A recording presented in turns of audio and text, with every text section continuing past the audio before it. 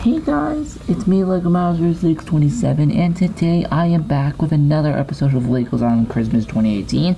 Today I am going to be doing day 17, which is obviously, you know, December 17th, 2018. So obviously this is day 17.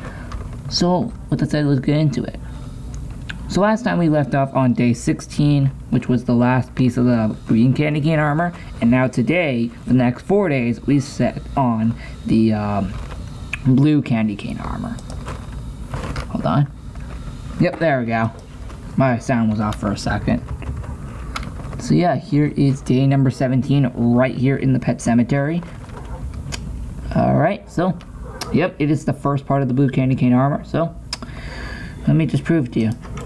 See, look, blue candy cane hat. Right there.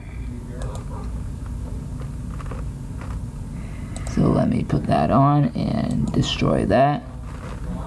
So yep, the only thing that's different is the name. And the rest of this will be added later on. So yeah, it's basically the same hat, just a different name.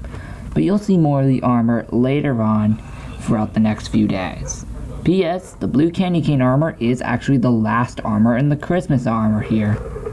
So yeah, interesting. But other than that, that is it. Yep, that's it for today.